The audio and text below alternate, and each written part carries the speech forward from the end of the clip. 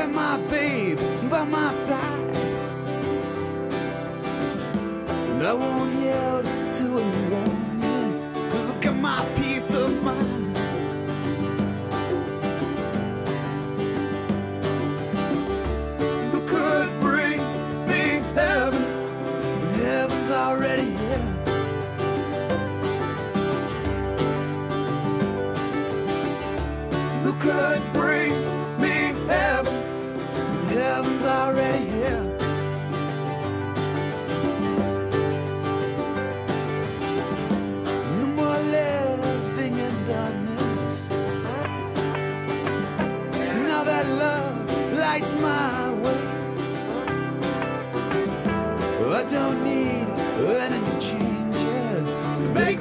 today.